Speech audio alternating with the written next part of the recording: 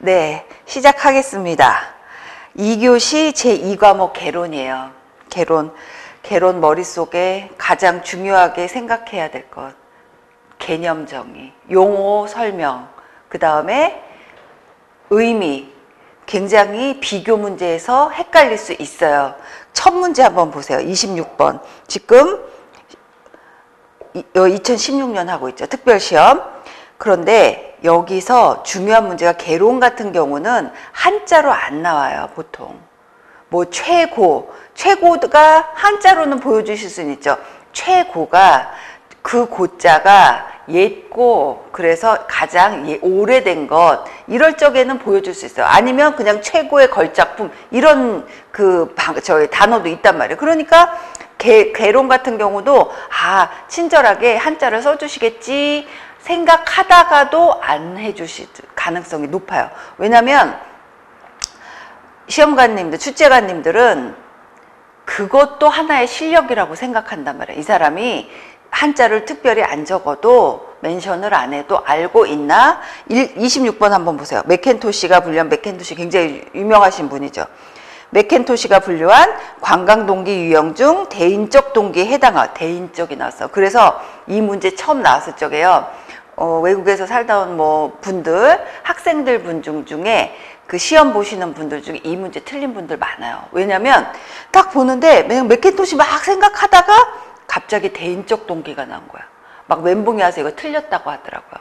그래서 제가 너무 이 문제 안타까운 문제 중에 하나인 것이 내가 한자를 옆에 어, 적지 않아서 내가 모르더라도 이 문제 같은 경우는 문제를 보고서 맞출 수 있어요. 그걸 제가 원하는 거예요. 그러니까 모든 문제를 학습을 통해서 다 이미 알고 문제를 풀면 너무 정말 좋은 그 공부 방법이야. 공부 공부 학습이 다 이루어졌다는 거예요. 그런데 이렇게 모를 경우에 우리는 사지선다를 활용해야 돼요. 한번 보세요. 육체적 휴식이 있어요. 1번.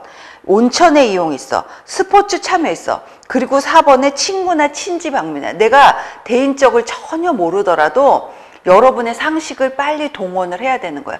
여기서 나온 대인적이 어떤 의미인지를 모를지언정 문제를 보면 휴식, 이용, 온천, 그 다음에 참여예요. 이거 보면 사람하고는 관련이 없어. 대면에서 사람 대 사람으로 하는 건 없단 말이에요. 의미적으로. 그런데 친구나 친지 방문은 사람을 대상으로 하는 거예요. 그렇기 때문에 설사 내가 대인적을 모른다 하더라도 이 문제를 봐면 풀 수가 있어. 그래서 그 제가 그랬어요. 너무 내가 몰라 학생들한테 항상 하는 얘기가 내가 모른다고 해서 무조건 딱 정, 장벽을 치지 말아라. 그럼 벌써 이 문제에 지고 들어가는 거예요. 왜냐면 난 몰라. 어머, 나 멘붕 와서 이거 또 틀렸어. 이러면서 벌벌벌 떨면서 그냥 아무거나 찍어서 또 버린단 말이에요. 그러지 마시고 문제를 차근차근 풀면서 그렇다고 해서 막 마냥 하시면 안 돼요. 빨리빨리 풀어나가면서 난 도저히 모르면 그냥 버려. 그렇지만 이 문제 보면요. 너무나 자명해요. 그러니까 이런 그 학생들의 틀리는 문제들을 분석을 해보면요. 이런 게 있어. 내가 딱 모르니까 나 이 문제는 그냥 모르겠어. 그렇게 하면서 그냥 이런 순, 그, 그런 생각을 가지고 풀어. 그래서 그냥 틀려버려. 그런데 그 내가 모르더라도요. 아, 이 문제를 내가 문제를 잘 보겠어. 이렇게 하면서 푸, 그 포기하지 않고 푸는 학생들은 맞춰요. 그러니까 저 제가 문제를 풀고 여러분한테 자꾸 설명하는 이유가 무조건 내가 모른다고 해서 장벽을 치지 말아라. 그렇다고 해서 내가 모, 무조건 아는 건 아니야. 하지만 문제의 맥락, 그 다음에 내 상식을 동원하는 거예요. 그리고 여러분을 믿으세요. 내가 공부를 봤을 적에 60% 70%밖에 안 했어. 그럴지언정 지금까지 학습해온 결과물들이 있단 말이에요. 학습해온 것들이 있어. 그러니까 그걸 믿고 내 상식을 내가 이 답을 정확히 모르더라도 내 상식을 동원하겠다 이렇게 생각을 하시라고요. 그래서 이 문제 같은 경우는요. 그 대인적을 몰라서 틀린 학생들이 굉장히 많아요. 굉장히 안타깝죠. 2번 관광 주체와 객체 사이를 연결해주는 매체가 아닌 것이 이 문제도 계속 나와 그래서 아니 교수님 왜 이렇게 매체 객체 주체 이렇게 어, 집착하나요 출제가님은 이런 분들도 계시거든요 그런데 이제 이 문제가 왜 자꾸 나오냐면 굉장히 기본적인 동기 관광은요, 동기가 가장 중요해요. 제가 말씀드렸다시피. 왜? 그 방문객들, 관광객들이 우리, 내가 지금 어느 회사에 속해 있어요. 관광 회사에 속해 있단 말이에요. 뭐 관광회사는 뭐 여행사일 수도 있고, 그 다음에 무슨 랜드사일 수도 있고, 테마파크도 아주 다양해. 그러면 그분들한테 가장 중요한 건 뭐예요? 이 우리의 관광지, 그걸 또 이제 제가 저희 그 이론서 같이 공부했던 학생들은 알고 있어요. 관광 매력물이라고 하죠. 어트랙션. 어트랙션에 오게 하는 동기는 무엇일까가 가장 중요한 거예요. 동기가 무엇이래서 오셨는데 과연 만족을 하셔서 재방문을 하실까? 이게 가장 주된 테마란 말이야. 그분들의 사실 이게 먹고 사는 일이죠. 관광 사업 활동 활동의 사업에 속하는 분들은 그렇기 때문에 문제가 동기 매번 나와 그러면 매번 나오는 문제를 어떻게 접, 접, 정복하면 돼요. 오 이런 동기가 있었어. 그리고 이 관광 주체 객체 매체가 매번 나오는 이유도 이것을 정도는 알아야 여러분이 관광을 하는 사람이다 하고 출제관님들이 테스트를 해보는 거예요.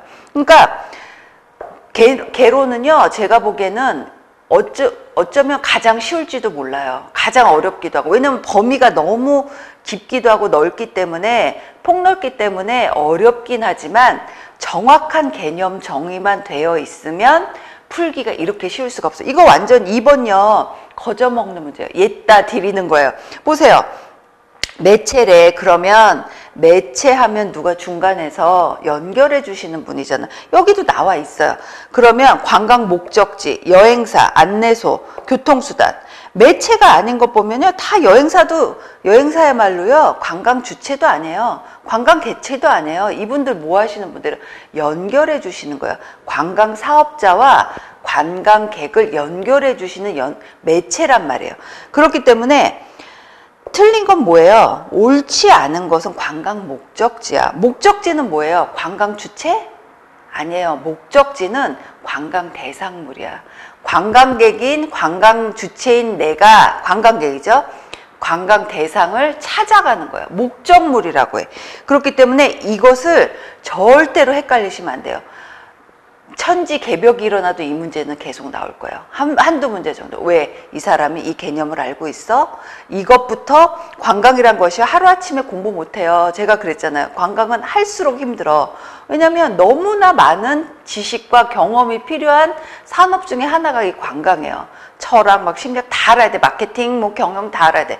그러면 그것을 하기 위해서는 뭐가 중요해? 개념 정의가 중요한 거예요. 그래서 제가 매번 잔소리 같아도 자꾸 여러분한테 반복하는 이유가 공부는 바, 방법이 없어요. 반복밖에 없어요. 그런데 반복을 정확히 해야 되는 거예요. 그래서 27번의 답은 1번이에요. 28번. 세계관광기구 UNWTO 굉장히 중요하죠. 어, UNWTO 뭐야? 찾아보세요. 그리고 이론서에도 각 기구별로 제가 정리해 놨어요. 설명했어. 그러면 우리 그래서 저하고 같이 공부한 학생들이 이미 알고 있어. 5가 나왔어. 5가 나오면 뭐야? 조직이야. A가 나오면 협회일 가능성이 거의 100%야. 뭐 이런 것들. 그쵸?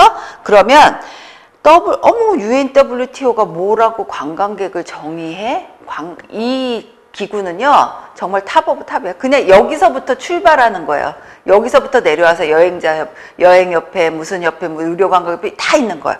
그렇게 보면 관광객을 범위, 관광객의 범위를 딱 정해 놓은 거야. 물론 이것이 관광 현상이기 때문에 절대로 자로, 어, 딱 100% 이렇게 할 수는 없어. 하지만 어느 정도는 정의를 해주는 기관이 필요한 거예요. 그렇기 때문에 그리고 어머 그러면은 이 범 이거 저기 범위주를 범위를 정해서 무슨 의미가 있어요? 의미 있죠. 모든 통계 그쵸? 우리 국민 관광 실태 외래 관광객 실태 조사 이거 왜 매번 해요? 아, 우리나라에 어떤 분들이 오시고 있나. 그러면 우리나라 국민들은 외국에 나가서 뭘 하거나 돈을 얼마 쓰고 오나 이런 거 굉장히 중요해요. 정책에도 굉장히 중요하죠. 그러려면 관광객을 기본적으로 잘 정의를 해놔야 모든 통계가 뒤죽박죽이 안 돼. UNWTO 정도나 돼야 관광객을 정의하고 그것에 의해서 각국의 뭐예요? 통계가 정해지는 거예요. 취합이 되는 거죠.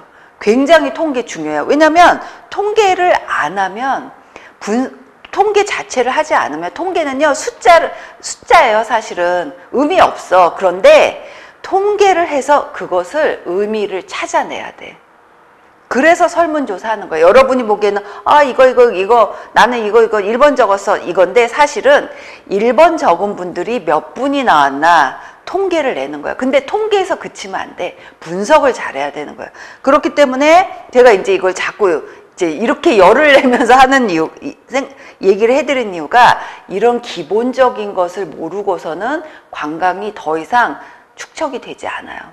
그렇기 때문에 아 여러분이 개론책을 딱 보면 딱딱 이제 개념이 나와야 돼. 그래서 어, 이론서 공부할 적에 한번 보세요. 이론서도 이제 2018년 거 나왔으니까 보면 거기서도 보면 법규도 착착 체계적으로 가야 돼요. 관광 개론도요 보면 그냥 뭐 저 용어의 정의 이것만 있는 건 아니에요. 용어를 정의하고 이 용어를 바탕으로 각각의 관광 사업을 어떻게 벌이고 있느냐를 공부하는 거예요. 그래서 여행업 나가고 호텔업 나가고 숙박업 나가고 의료업 나가고 의료관광업 나가고 그다음에 국제회의업 나가고 뭐 이렇게 나오는 이유가 각각의 사업을 알려면 개념 정리부터 해야 돼서 그런 거예요. 그러니까 굉장히 중요한 거죠. 그러니까 그걸 모르면요. 법규 공부 하나도 못 해요. 그래서 제가 항상 말씀드리는 게 무조건 법규 공부부터 하면 안 된다 이렇게 말씀드려요. 왜냐하면 법규는 법 자체는 의미가 하나도 없어요. 그 법을 사용하는 사람. 어, 그러면 법을 사용을 누가 해요? 그러면 그거죠. 관광 사업자들은 법이 필요해요. 여러분도 법이 필요하지만 관광 사업자들 법이 필요해. 그러면 가이드라인이 있어야 될 거 아니야. 그렇기 때문에 그럼 가이드라인을 세워주는 분들이 있어. 우리 국가에서 세워주시잖아요. 그러면 그거 안에서 사업을 실행을 시켜야 돼. 그러면 그 사업을 알려면 일단 개론해서 공부를 해야 되는 거야. 그래서 제가 이제 요거는 뭐 이론서 할 때 또 보시면 아시겠지만 저는 항상 그래요. 개론부터 공부하세요. 그래야 전체적인 그림이 보이고 우리 그런 말 요새 많이 해요. 빅픽처를 세울 수가 있는 거야. 딱딱 개념 정의를 딱, 어, 이거는 이렇구나. 여행업에서 이런 일을 해. 여행업에서 무슨 일을 하는지를 알아야 법을 공부하기가 쉬운 거예요. 아, 나는 여행업 하나도 몰라. 그냥 법만 무조건 딸딸딸 외울게. 이거 하나도 소용없어요. 알고 공부하는 것과요, 모르고 공부하는 거는 거의 천지 차이예요. 그렇기 때문에 개론 공부하시면서 법규 공부하세요. 그럼 이해가 가. 아, 이 법이 왜 필요했구나를 알 수 있어요. 아, 관광 동역 안내사가 자격증을 폐용하지 않고 부착하지 않고 다닐 적엔 법이 이런 페널티를 줘 이런 거. 그러면은 아니 이거를 막 딸딸딸 해서 어 그 왜 그러는 거야? 이러면 이거는 벌써 법을 공부하는 게 아니에요.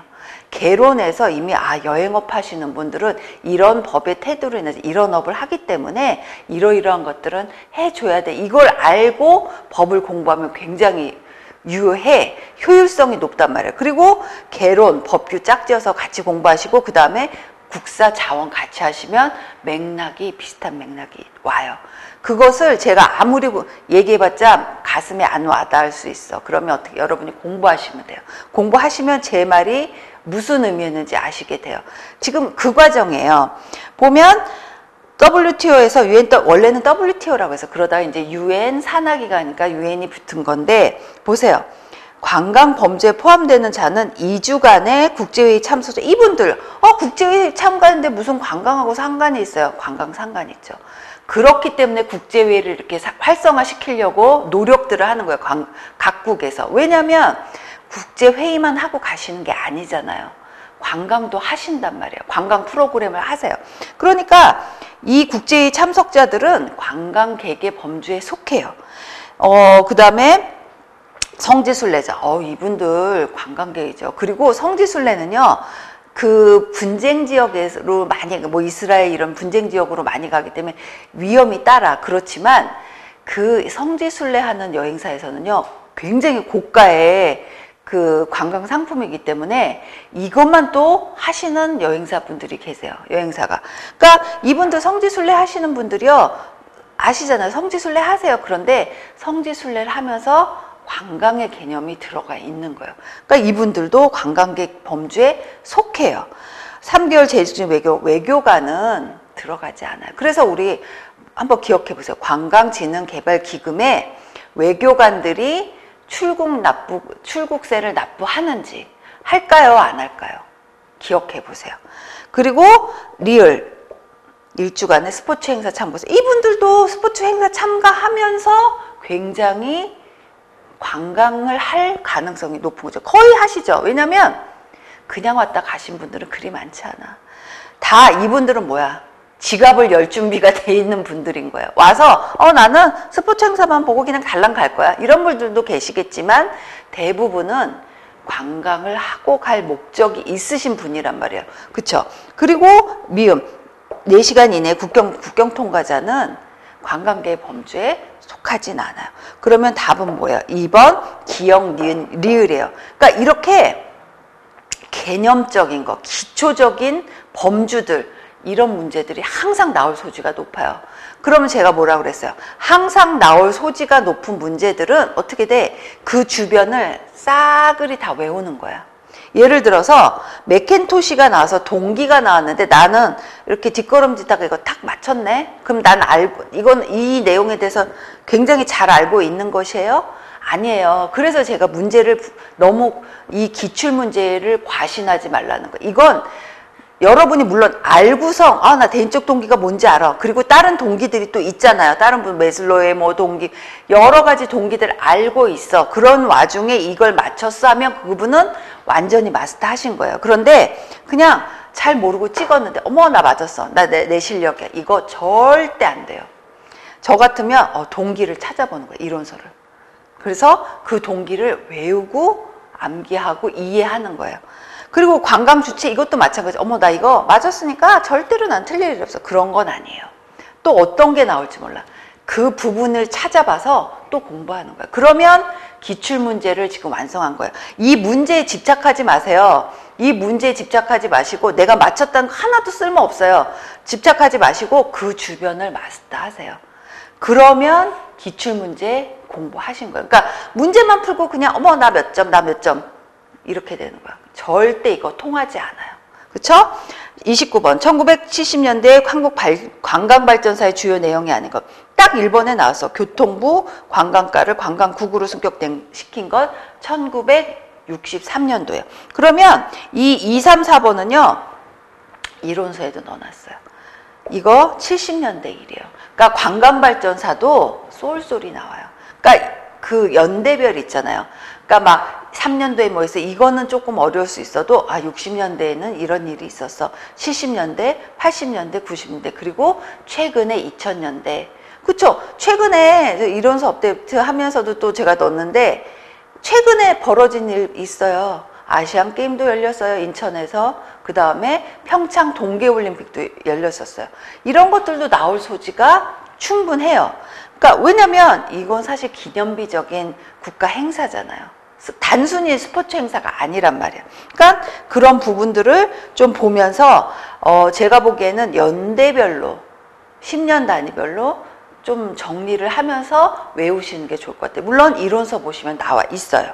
30번 관광의 환경적 측면에서의 효과가 아닌 것은 1번 관광 자원의 보호와 복원 그쵸 보호 복원 나왔어요. 그러면 어때요? 환경적 측면이에요. 환경 정비야. 어, 환경 정비 보전. 보 어머. 교수님 그럼 보전, 보호, 보전. 이거 문제 제가 이론서에도 넣어놨어. 아, 보전은 뭐야? 보조는 뭐야? 보호는 뭐야? 그쵸? 관광 승수, 승수 효과. 4번. 환경에 대한 인식 진입 그쵸? 여기서도요 이거 몰라도요 저, 제가 보기엔 어나 승수 효과 모르, 모르겠어. 또 이제 혼자 위축돼 갖고 벌벌벌 떠는 거야. 그러지 마시고 딱 보면요 환경적 측면 얘기했는데 다 지금 환경 얘기 나오고 있어요. 관광 자원의 보호와 복원이야말로 환경 얘기 아니에요? 이미 1, 2, 4가 나왔단 말이에요 이런 문제들은요 너무나 시간을 쓸 필요가 하나도 없어. 그냥 2초면은 그냥 맞춰버려야 돼. 왜? 내가 설사 승수 효과를 모른다 하더라도 이것은 다른 두 1, 2, 4가 너무나 자명한 문제인 거야. 그러니까 승수 효과를 모르는 게 막 그게 너무나 자랑스럽진 않은 일이죠, 사실. 그쵸? 그렇지만 우리는 어떻게 돼? 문제를 당면했을 적에 이런 방법도 있다는 거예요. 그러니까 너무나 내가 모르는 것에 집착하지 마세요. 모르는 걸 너무 많이 신경을 쓴단 말이야. 그것에 신경 쓰지 말고요. 내 문제를 관계를 잘 보면서 연동해서 교수님 그게 하루아침에 걸러, 저기 길러져요? 저 잘 모르겠어요. 그런데 그쵸 하루아침에 안 길러지죠. 그렇기 때문에 자꾸 연습을 해보면서 그 문제풀이를 해보는 거예요.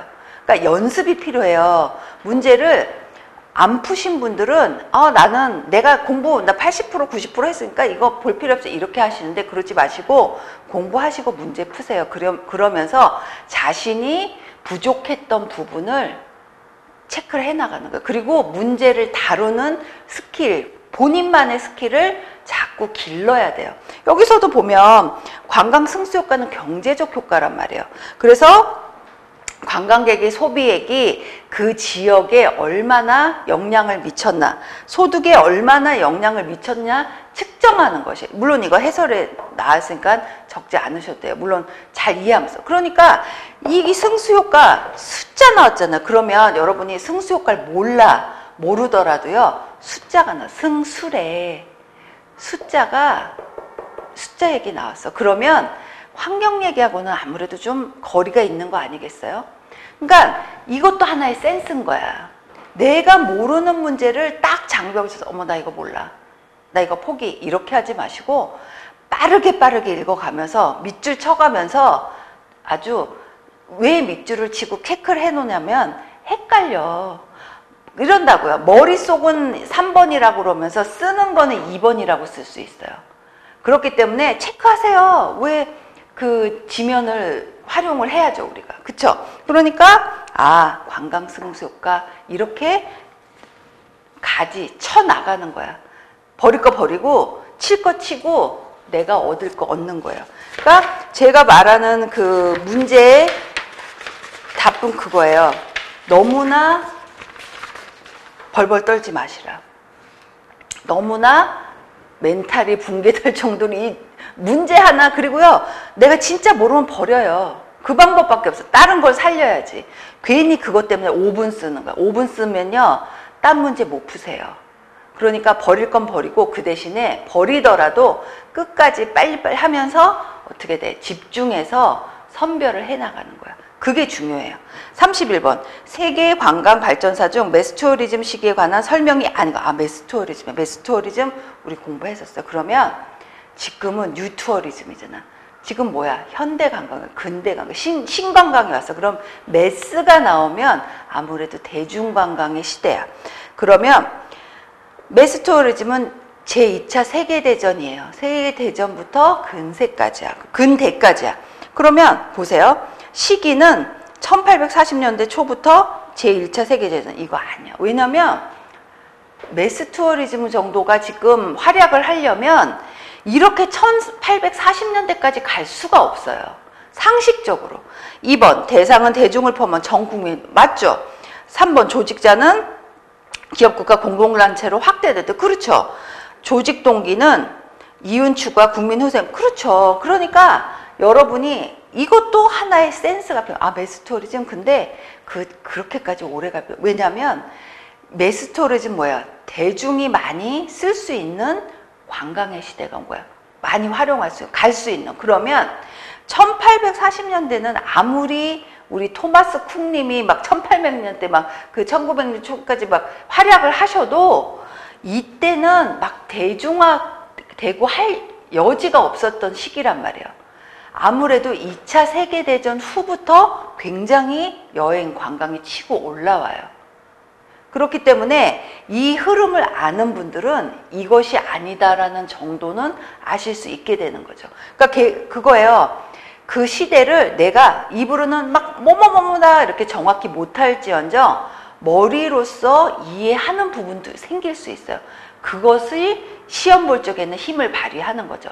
제가 그랬잖아요. 외국에서 뭐 살다 오시는 그 교포, 동포분들 이런 분들도 몰라. 정확히 내가 찝을 순 없어. 문제를 모른단 말이야. 그래도 강의 시간에 듣는 내용을 그걸 기억해내면서 충분히 문제를 풀었다고 얘기를 하신단 말이에요. 내가 100%는 몰라. 100% 알면 좋지만 하지만 그것이 힘을 쓰지 못할 적에는 내가 공부했던 내용들을 흐름을 쫙쫙 보면서 하는 거예요. 법 같은 경우 어머 교수님 그러면 법은 어떻게 흐름이 없는데 법도요 흐름이 있어요. 그 시대에 더 부각되는 산업도 있고 그 다음에 바뀐 트렌드도 있고 그래요. 2018년도에요. 그 법도요 개정된 것들이 좀 돼 있어요. 그건 뭘 말하냐면 이제 그 법을 사용하는, 이용하는, 활용하는 사람들, 사업자들을 위해서 조금 더 편리하게 법을 개정하고 있다는 뜻이에요. 그리고 그것이 법이 악용되지 악용될 소지가 있는 경우 그걸 또 악용되지 못하게 또 바꾸기도 하고 더 아주 구체화시킨 거. 이렇게 법을 만들어 놨더니 사람들이 잘 이거를 잘 모르더라. 잘 이해를 하지 못하더라. 그럴 적에는 좀 더 자세하게 명시를 해두는 거예요. 그것이 법이에요. 그렇죠?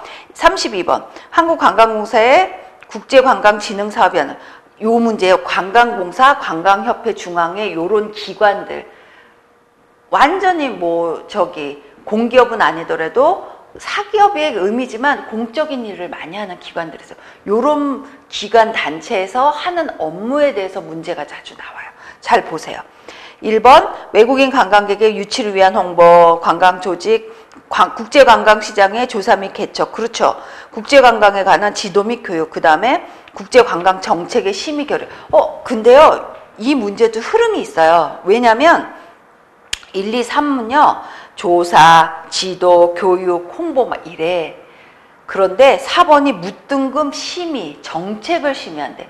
한국관광공사가 예전에는 아무리 나라에서 운영을 했었더라도 지금 완전히 정책까지 낼 위치는 아니에요. 어 그러면 정책 이거 심의하고 의결하는 건 누가 해요? 문화체육관광부에서 한단 말이에요. 문화체육관광부야말로 국가를 대신해서 관광 사업을 진행하시는 분들이에요. 근데 정책을 누가 정책을 내놔야 사업자들이 그것을 따를 거 아니에요.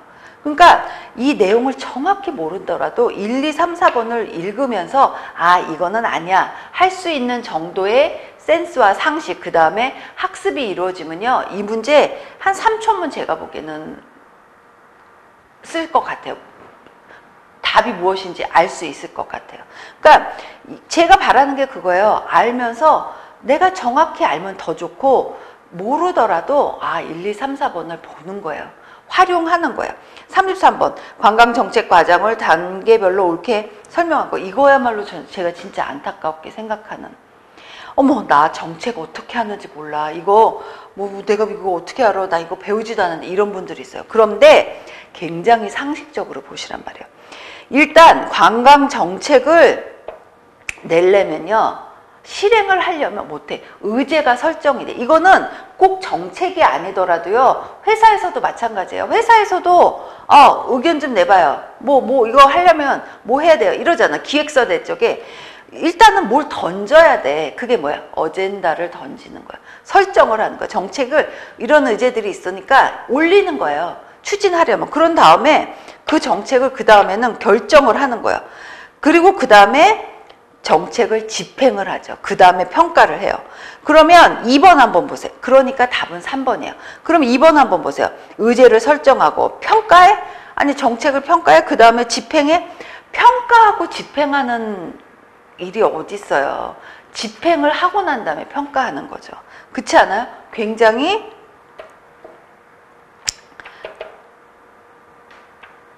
상식적인 선에서 풀면 되는 문제예요. 그러니까 이것도 딱 보고 어머 나 이제 이거 망했어. 이번호 틀려서 이렇게 하면 또 굉장히 손실이 많아요. 그냥 흐름대로 가세요. 설정하고 결정하고 집행하고 평가. 평가를 제일 먼저 하나요? 어, 그 평가 제일 먼저 하죠. 이럴 수 있는데 이거는 그것이 아니고 의제를 평가할 수는 있어요. 그런데 정책을 평가하는 건 집행을 하고 난 다음에 평가라는 거예요. 말의 뜻을 잘 알아야 되죠. 그러니까. 그러니까 보면 상식적으로 보면 돼요. 설정하고 집행하고 평가하고 결정하고 이거는 말이 안 돼. 그렇잖아요. 굉장히 보면요. 문제들을 보면 내가 공부하지 않은 부분들 중에 상식의 선에서 나오는 문제들이 있어요. 여러분이 제가 보기엔요. 관광 정책이란 거 그러니까 이런 말이 앞에 없고 그냥 정책 결정 과정에서 이거 맞출 거야. 근데 관광에 들어가니까 뭔가 좀 다른 것이 있나 이렇게 생각하는 거죠. 절대 그렇지 않아요. 법도 뭐라고 그랬어요? 상식이라고 그랬어요. 여러분 주위에 있는 상식인 거야. 그러니까 상식적으로 보면 어 근데 저는 상식이 없어요. 이러면 어떻게 돼? 그 정 그 상식을요 정확하게 쌓아 나가는 과정이 지금 공부하는 과정이에요. 그리고 문제 푸는 과정이에요. 그러니까 어 저 상식 없어서 저는요 이거 관광을 너무 하고 싶은데 상식이 너무 부족해 이런 분들 계세요. 충분히 있을 수 있어. 그런데 그것을 너무 한탄하지 마시고 지금 쌓아 나가시면 돼요. 상식의 선에서. 그러니까 상, 상식이 잘 쌓이려면 뉴스도 자주 보시고 사람들이 하는 일들에 대해서 아 요새 관광 사업자들은 무슨 일이 일어나고 있어? 이런 것들 있잖아. 그런 것을 잘 보는 거야. 그러면서 앞뒤를 잘 재가면서 일을 하면 필기 통과해. 그 다음 면접 통과해. 그 다음에 실전에 관광토경 안내사 되시고 난 다음에 실전에서 또 굉장히 상식적으로 관광객을 모실 수 있다는 거예요. 34번 다음 설명에 해당하는 것은 전 국민이 일상생활권에서 벗어나 이 문제 예전에 제가 얘기했던 거예요. 자력동은 정책적 지원으로 국내 외를 여행하거나 체제하면서 관광하는 행위로 그 목적은 국민 삶의 질을 제고 이거 이미 국민이 나왔잖아. 그러면 대한관광 대한관광이라 어머 이거 뉴투어리즘 해갖고 대한관광일지 뭐 이럴 수도 있어. 그런데요. 그건 또 여러분을 혼란시키, 시키기 위한 또 트릭인 거야. 여기서 국민의 살, 삶의 질을 제고하면요. 국민관광인 거야. 그러면 자력은 뭐야? 자기가 돈이 있어서 가시는 분들이에요. 그러면 정책적 지원은 뭐야? 누가 정책적 지원을 해줘요? 관광가한테 정책적 지원 해주시죠. 여행 바우처, 관광 취약계층, 취약계층에 속하는 분들 계시잖아요. 장애우 분들, 뭐 여러분들, 뭐 연세 드신 분들 아니면은 굉장히 어려서 관광할, 여행할 기회가 주어지지 않은 분들 이런 분들을 정책적으로 지원하는 거예요. 그러면 국민의 삶이라며 이미 다 나와 있어. 그래서 절대로 포기하지 마시라는 이유가 이거예요. 제가 이미 설명 안에 이 제시된 설명 안에 답이 나오는 경우가 거의 7, 80%예요. 전혀 동떨어진 답이 나오는 경우가 그리 많지는 않아. 그러니까 여러분의 상식과 센스가 필요한 질문, 문제 중에 하나가 이건 거예요. 35번 다음 설명에 해당하는 것은 1980년 세계관광기구 100개 회원국 대표단이 참석한 가운데 개최된 세계관광대회에서 관광활동은 인간 존엄성의 정신에 집각하여 보장되어야 하며 세계평화에 기여하며 결의한다. 이거는 굉장히 유명한 선언이야. 그 유명한 선언을 몇 개를 이론서에 넣어 놓은 게 있어요. 이건 마닐라 선, 선언이에요. 자주 나와. 그쵸? 요거, 요 자주 나오는 것 중에 하나가 마닐라 선언하고 리우회예요. 그쵸? 요거 꼭 공부하셔야 돼요. 36번 문화체육관광부의 외국인 의료관광 활성화를 위한 지원 사업 내용이 아니고 어, 지원을 하시죠. 하시죠. 당연히 지원해야 어때요? 관광산업이 발전하죠. 그럼, 그러면 관광산업 발전하려면 뭐 있어야 돼? 그래서 기금이 필요한 거예요. 사, 세상에요. 꽁돈으로 되는 게 없어. 그냥 몸만 갖고 되는 게 없어. 특히 이런 관광, 여러 가지 홍보사항들, 이런 것들은요. 보시면 1번 사업 내용이 아닌 거야. 그러니까 사업 내용으로 옳지 않은 것이에요. 그러면 1, 1번에서 3번 뭐, 세 개는 맞는 거겠네? 하나만 틀린 거겠네? 그쵸? 보면요. 의료관광 전담 여행사 선정 및 평가관리 3번은 아니에요. 제가 구구절절하게 설명 안 해도 이것은 아닌 걸 아실 수 있을 거예요. 37번 관광 관련 국제기구 중 동아시아 관광협회를 뜻하는 동아시아래 그래서 이, 이 문제도 사실 조금 영어를 하시고 상식적으로 아실 수 있는 분이면 맞힐 수 있어요. 보면 동아시아예요. 동아시아. 그럼 동쪽이네요. 이스트잖아. 그 다음에 아시아네 Asia죠. 아시아. 그 다음에 또 travel. 그 다음에 어머 관광, 관광은요 travel 아니면 tourism밖에 없어요. 협회는 뭐야? 우리 매번 얘기했죠. O 아니면 A. A 뭐야? 협회의 일 가능성이 높죠. 어소시에이션이야. 이미 이 동아시아 관광협회에서 답이 다 나왔어. 이 이스타, 아스타, 파타 이거 다 넣어놨어요. 해설에. 한번 보시면서요. 굉장히 이거 그래서 개론이 참 안타까워요. 조금만 알면 다 맞힐 수 있는 문제인데 그 고비를 항상 못 넘겨. 그러니까 제가 그래서 자꾸 하나의 팁을 드리는 이유가 너무 포기하지 마시고 하나의 단서라도 잡아라. 협회 나왔어. 우리 아주 그냥 지긋지긋하게 많이 했어요. 그쵸? 아주 A, O, 그쵸? 이런 거 활용하세요. 그리고 38번. 문화체육관광부에서 선정한 2016년 관광축제 이거 매번 나오는 거예요. 대표 축제. 그쵸? 대표 축제 있고 최우수 축제 있고 유망 축제 있고 그래요. 그러면 2016년도면 김제 지평선 축제, 화천 산천어 축제 이번에 굉장히 추웠는데도 화천 산천어 축제 완전 대박이 났어요. 그리고 미음의 자라섬 국제 재즈 페스티벌 이게 2016년 문화관광 대표 축제예요. 이건 외울 수밖에 없어요. 그런데 여러분의 머릿속에 보세요. 대표 축제 정도 되려면 사람들이 좀 많이 가야 되지 않겠어요? 그런 것들도 연관지어 가면서 외우시면 좋겠죠. 39번 2016년 4월 기준 인천공항 이용식 항공기 내 반입 가능한 수화물이 아니래요. 항공기 내래. 여기 보면요. 항공기 내에 가면 기내 반입이야.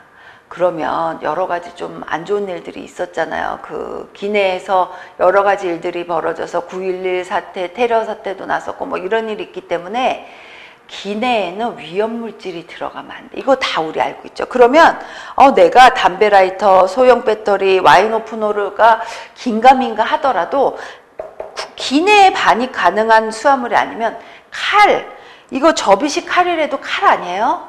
굉장히 치명상을 입힐 수 있는 무기가 될 수 있는 거란 말이야. 내가 1, 2, 3, 4번을 정확히 모르더라도 상식적으로 봤을 적에 기내 반입이 어 나 이거 와인 오프너가 이거 들어 비, 기내 반입이 가능할까 안 가나 이런 고민을 할 필요가 없이 가장 치명적인 게 이 칼이란 말이에요. 접이식 칼도요, 막 몇 개가 막 들어가는 뭐 굉장히 유명한 브랜드 있잖아요. 막 그 안에는 접이식 칼이요, 막 네다섯 개가 다 들어가 있어. 접어서 다. 그러면요, 가장 위험하고도 치명적인 게 무엇인가를 보면 이것도 상식의 문제예요. 내가 딸딸딸 외우지 다 그냥 막 다 외우지 않더라도 어때요? 이거 정도는 어때요? 문제를 맞출 수 있는 상식이 있는 거야. 여러분 우리가 다 외우면 좋겠지만요. 무조건 다 외우기는 벅차요, 사실. 외우면서 상식의 선에서 이해를 해서 여러분의 머릿속에 넣어두는 거, 어, 이거는 그랬던 것 같아. 그것이요, 문제 풀 적에는 굉장히 힘을 발휘해요. 40번, 관광진흥법 법령상 여행업 등록을 위한 자본금 기준으로 옳은 것은 여러분 2018년 6월까지는 어떻게 돼요? 기존에 있던 일반 여행업, 국외 여행업, 국내 여행업의 자본금이 반 정도만 돼도 등록이 가능하다고 했었어요. 그러면 여기서 이거 제가 일일이 설명할 필요 없어요. 여기서는요. 자본금 기준으로 오른 것은 국내 여행업 3천만 원이에요. 그러면 일반 여행업은 원래 2억 원이죠. 2억 원에서 2018년 6월까지는 1억 원도 가능한 거예요. 그 다음에 국외 여행업은 6천만 원이에요. 항상 헷갈려요. 그런데 자본금이 필요한 업이 딱 네 가지가 있었어요. 뭐 다른 데도 마찬가지긴 하지만 일반 여행업은 2억이야. 국외 여행업은 6천만 원, 국내 여행업은 3천만 원이에요. 그러면 또 자본금이 필요한 업이 있었어. 국제회의, 기획업이 있었어요. 얼마일까요? 기억하셔야 돼요. 그쵸? 그래서 제가 방법 이론서 공부할 적에 이거 이거 이렇게 이렇게 기억하세요. 한번 이런 방법 써보세요 한 적이 있어요. 그쵸? 그러니까 이런 자본금 문제는요 굉장히 트레디셔널하고 클래식한 문제야. 굉장히 옛날 진짜 그런데도 불구하고 2016년에 났다는 건 굉장히 중요하다는 의미인 거예요. 그쵸? 꼭 체크하시고 여러분이 시험 2018년도에 볼 적에는 아마 이게 없을 거예요. 이 자본금이 반으로 된다는 내용은 없을 거니까 이대로만 외우시면 돼요. 예전 원래로 하시면 돼요. 모르죠. 2016년에 다시 바뀔 수도. 그렇지만 아무튼 간에. 41번. 인천공항을 통한 출입국 시 다음 설명 중 옳지 않은 것은 옳지 않은 것은요. 1, 3, 4, 5라요. 2번 보세요. 출국학은 내국인의 구입한도 면세 물품은 구입한도래요. 구입한도가 아니죠. 면세 물품이 미화 600달러까지고요. 구입할 수 있는 건 3,000달러예요. 요거 헷갈리시면 안 돼요. 이론서에 자세하게 설명해 드렸어요. 요런 문제 가장 실전적인 문제 아니에요, 이거? 여러분, 손님들 모시고 나갈 때 이럴 적에 가장 아주 상식적인 문제예요. 42번 다음에서 설명하는 용어는 국제회의 개최와 관련한 다양한 업무를 주최 측으로부터 위임받아 부분적 또는 전체적으로 대행해주는 영리 업체 PCO죠. Professional Convention Organization이요. 오르거나이저라고도 하죠. 기획가가 들어가니까. PCO. 그래서 국제회의 관련해서 어 국제회의를 우린 PCO야 이러면 그 협회나 단체로부터 국제회의를 모든 사항을 위임받아서 대신 해주시는 분들 이런 분들은 어때요? 국제회의 기획업에 등록하셔야 되는 회사 소속이죠. 그래서 아 영리업체 부, 어, 부분적 또는 전체적으로 이분들이 PCO, PCO 하는 거예요. 스펠링 제가 뭐 적어드리지 않을게요. 해설서에 나와 있어요. 이론서에 매번 설명드렸어요. 43번 항공기 탑승 시 타고 왔던 비행기가 아닌 다른 비행기로 갈아타는 건 이거 transfer예요. transit, stopover, 그 다음에 code share 다 설명해 넣어놨어요. 이거 이 네 용어, 네 가지 용어요. 자주 나와요. code share, code share, 어머 code share 아주 쉬운 말로 내가 대한항공 편명으로 갔는데 올 적에는 에어프랑스 걸 타고 왔어. 그건 뭐야? 대한항공과 에어프랑스가 code sharing을 한다 이렇게 보는 거예요. 좌석을 공유하는 거예요. 그쵸? 요거 꼭 체크해 주시고 43번의 답은 2번이에요. transfer, 그 다음에 42, 44번 IATA 기준 우리나라 항공사 코드가 아닌 것은 코드 특히 저가 항공은 거의 다 외우셔야 돼요. 다른 것도 외우셔야 되지만 뭐 주요 항공사는 외우시지 당연히 외우시지만 특히 저가 항공도 외우셔야 돼. code share가 아닌 것은 어 이거 1번 아니죠. 그러면 ZE 뭐야? 이스타 항공, 7C 제주 항공, LJ 진에어. 어 근데 교수님 왜 이렇게 코드들이 칼 대한항공, 코리안 에어라인처럼 왜 이렇게 저기 정리되지 못하고 이렇게 무등근 같아요. 이러신 분들이 있어요. 이건 제가 얘기한 적 있을 거예요. 아무래도 후발 항공사들은요, 자신들이 원하는 코드를 받기가 어려워요. 이미 다른 항공사에서 다 가져갔어. 그러니까 어떻게, 이렇게 조금은 생소한 코드로 받을 수밖에 없는 거예요. 그쵸? 45번. 2015년 변경된 신등급 예전에는 다 무궁화였어요. 우리나라 같은 경우. 그러다가 별등급 스타로 바뀌어서 그래서 5스타, 4스타 막 이렇게 얘기하잖아. 무슨 7성급 얘기도 나, 뭐 6등 사실요 7성급 이런 건 없어요. 그런데 5성급보다 더 럭셔리하고 더 시설이 좋은 거예요. 이런 경우 막 7성급 이렇게 얘기하는 거죠. 등급이 여기서 보면요.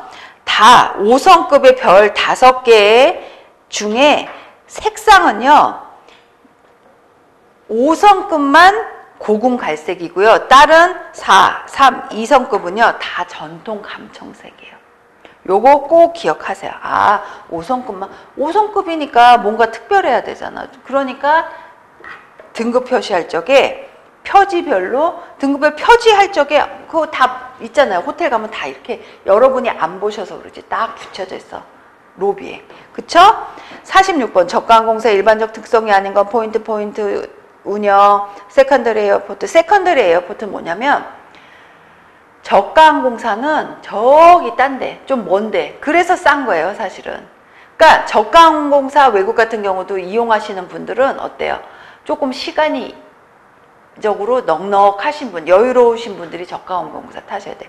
나는 너무 급한 미팅이 있는데 저기다 내려줬네. 그게 secondary 그 두 번째 공항 쪽 이런 거 완전 메인 공항으로 안 내려주시고 다른 쪽에 내려주신단 말이에요. 그러면 나는 세상에 택시 불러서 오느라고 돈이 더 들었어. 그럴 수도 있어요. 잘 모르시는 분. 그러니까 저가 항공 좋죠.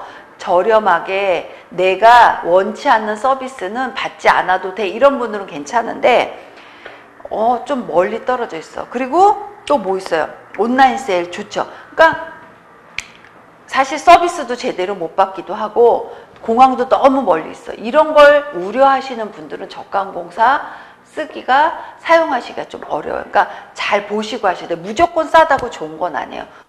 자신의 관광객의 그 항공사 이용하시는 분들의 용도에 맞아야 돼. 어, 4번 hub and spoke. 이건 이제 대도시 터미널 방식인데 대도시 그러니까 저가 항공사하고는 멀죠. 터미널 hub and spoke 이론서에서 굉장히 많이 얘기했었어요. hub이 있고 spoke가 있어서 바퀴살처럼 이렇게 이렇게 흩어져 있어. 그러니까 메인 공항에서 다 연결점, 노선들이 다 메인 공항 중심으로 다 이렇게 돼 있는 거야.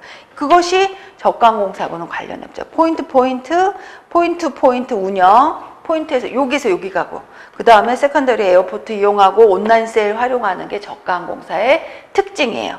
47번 예약한 좌석을 이용하지 않는 노쇼 났대. no-show에 대비한 항공사 어머 안 나오 갑자기 연락도 없이 그냥 안 오시는 거. 그러면 어 그럼 다른 손님 두면 되죠. 다른 손님 두기 전에 이미 그 좌석은 벌써 없어진 거나 마찬가지예요. 그렇기 때문에 노쇼 좀 제발 하지 말아주세요. 그렇게 말씀하시는 종사자분들이 계세요. 많죠. 그러니까 노쇼를 대비해서 객실도 마찬가지고 레스토랑도 마찬가지고 오버부킹을 해놓는 경우들이 있단 말이에요. 대부분은 그거 사용해서 그러면 오버부킹을 한 그냥 한 100% 해놓으면 되나요? 이런 경우도 있어요. 그렇지는 않고요. 통상 오버부킹 같은 경우는 10%에서 15% 지금 우리가 가진 객실의 10%에 10%에서 뭐 15%를 더 해놓기도 하지만 그건 또 달라요. 왜냐하면 통계를 나, 통계가 나오잖아. 호텔 객실이 작년에 아니면 몇 년치를 보니까 이때는 우리 객실이 오버부킹을 그러니까 객실 노쇼 나신 분이 이 정도 있었어 이렇게 예측이 되면 통계를 보고 분석이 되면 예측을 하는 거죠. 그러면 통상 우리는 그때 우리 객실이 100이었는데 그때 노쇼가 한 10%가 났었어. 그러면 지금도 조금 좀 넉넉하게 그걸 대비해서 10% 이렇게 15%로 오버부킹 초과 예약을 해 놓는 거야. 그거 필요해요. 왜냐면 업체도 먹고 살아야 될 거 아니야. 그렇잖아. 안 오는 손님만 계속 기다리면 뭐예요. 우리도 자구책을 마련해야지. 10% 아우 그 10, 10% 10% 15% 때문에 무슨 또 초과 예약까지 해 오시는 분들 불편하게 그렇게 생각하실 수도 있지만 매일매일 그게 반복되는 관광 종사자들, 사업자들 한번 보세요. 굉장히 데미지가 심하죠. 그러니까 오버부킹은 또 하나의 자구책인 거예요. 그리고 48번 국제회의 형태별 분류 중 다음 설명에 해당하는 것은 문제 해결 능력의 일환으로서 참여를 강조하고 소집단 정도의 인원이 특정 문제나 과제에 대해 서로 새로운 지식, 아이디어, 기술 등을 교환하는 거. 이거 워크숍이에요. 여기 내용들, 어, 세미나, 컨퍼런스, 포럼들이 내용이 조금씩 조금씩 달라요. 비슷비슷하지만 요거 이론서에 구분해 놨으니까 꼭 공부하세요. 그리고 49번 이벤트의 분류상 hallmark event. hallmark event는요, 반복적으로, 반복적이고 정기적으로 실시되는 이벤트예요. 그러면 hallmark event가 아닌 것은 세계 육상 선수권대 이거는 그 지역에서 반복되는 게 아니죠. 브라질 리우 축제, 옥토버 페스트, 옥토버 페스트 뭐예요? 옥토버 페스티벌이라고도 하죠. 청도 소싸움 축제는 그 지역에서 매번 해요. 1년에 한 번 뭐 계속 오지만 세계 육상 선수권 대회는 그 선수권 대회 자체는 계속 진행이 되지만 그 지역에서 홀마크 이벤트는 아닌 거야. 반복적이고 정기적으로 그럼 맨날 한 지역에서만 오래 하고 뭐 4년 뒤에는 또 이 지역에서 하고 그건 아니잖아요. 그쵸? 49번의 답은 1번이에요. 50번 관광산업에서 고객에게 직접 서비스를 제공하는 직원을 대상으로 하는 마케팅. 아 직원 직원 간 어 그러면 내부 마케팅이네 이게 인터널 마케팅이야. 어 그러면 직원 아니 우리 회사는요 직원들한테 무슨 저기 마케팅을 하는지 모르겠네 이런 분들 계세요. 제가 마케팅의 종류 이론서에도 넣어놨는데 포지셔닝 전략, 관계 전략, 관계 마케팅, 직접 마케팅이 다그 고객을 대상으로 하는 마케팅이에요. 그러면 내부 마케팅은 직원 마케팅이야. 직원도 하나의 손님이라고 보는 거예요. 회사 차원에서. 그래서 직원한테 어, 직원들이 불만 사항들 아니면 너무 일이 힘들어. 그럴 경우에 뭐 교대 근무를 해준다든지 아니면 회사 차원에서 여러 가지 동선을 아주 짧게 해준다든지 그럼 그럴 수 있잖아요. 무슨 책상 배치만 뭐 조리 과정만 조금 달리 해도 동선이 개선이 될 수 있단 말이야. 직원들한테 내부 마케팅 해야 돼요. 굉장히 중요해요. 그래야 사기가 올라가고 회사의 뭐예요? 관광사업체의 질적, 서비스가 높아진다고 보는 거예요. 그렇기 때문에 내부 마케팅 필요해요. 예전에는 막 고객 마케팅만 신경 썼는데 지금 어떻게 돼? 내부 마케팅도 필요한 거야. 그러니까 고객 마케팅은 사실 external marketing이라고 해도 상관없죠. 외부 마케팅이야. 그런 아 그러니까 이 고객 마케팅. 근데 내부 마케팅인 직원 마케팅은 internal marketing이라고 한다. 이렇게 보시는 거예요. 잠시 쉬고 할게요.